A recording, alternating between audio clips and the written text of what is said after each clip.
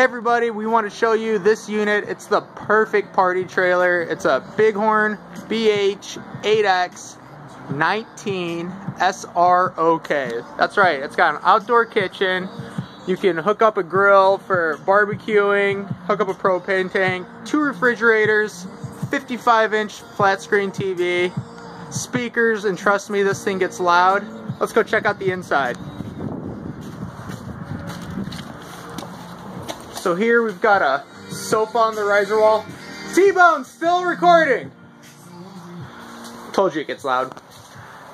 Kitchen right here on the inside. We've got a dinette over in the slide out.